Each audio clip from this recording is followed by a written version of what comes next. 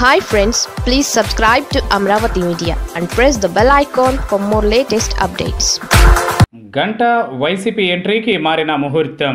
ఈసారి date fix TDP నేత మాజీ మంత్రి గంటా శ్రీనివాసరావు వైసీపీ తీర్థం పుచ్చుకునే తేదీ ఖరారైంది. ఆయన టీడీపీ విడతారనే ప్రచారం గత కొద్ది రోజులుగా జరుగుతోంది. కానీ చేరికపై మాత్రం రకరకాల ఊహాగానాలు వినిపించాయి. తేదీ కూడా మారుతూ వచ్చింది. తొలుత ఆగస్టు పదిహేనవ తేదీ అని ప్రచారం జరగగా అది తొమ్మిదవ తేదీకి మారింది. ఇప్పుడు మరో అప్డేట్ వచ్చింది. అదే గంట అండ్ కో వైసీపీలో చేరే తేదీపై స్పష్టత వచ్చింది. పదహారవ తేదీన గంట వైసీపీలో చేరతారని విశ్వసనీయంగా తెలిసింది.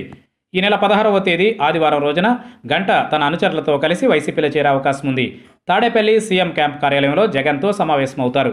అయితే ప్రస్తుతానికి గంట వైసీపీ అనుచరుడిగా కొనసాగుతూ ఉండగా ఆయన అనుచరులు కండువా కప్పుకుంటారని తెలుస్తోంది. అయితే దీనిపై స్పష్టత రావాలంటే మరో పది రోజులు ఆగాల్సిందే. గంటా శ్రీనివాసరావు టీడీపీ నుంచి రాజకీయ ప్రస్థానం ప్రారంభమైన రెండు వేల తొమ్మిది ఎన్నికలకు ముందు పీఆర్పీలో చేరారు.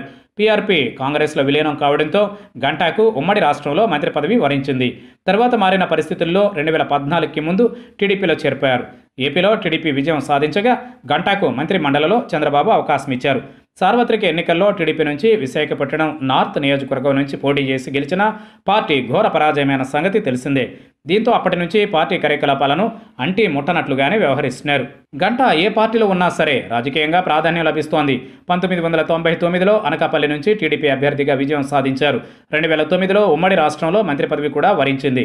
పీఆర్పీ నుంచి సి. రామచంద్రయ్యతో కలిసి మంత్రిగా పనిచేశారు. తర్వాత రెండు వేల పద్నాలుగులో టీడీపీలో చేరి తిరిగి మంత్రి పదవి చేపట్టారు.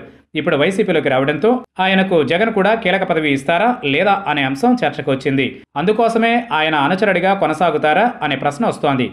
మొత్తానికి ఏ రాజకీయ పార్టీలో ఉన్నా గంటాకు మంచి పదవి పేరు ఉంటుందనేది జగమెరిగిన సత్యం.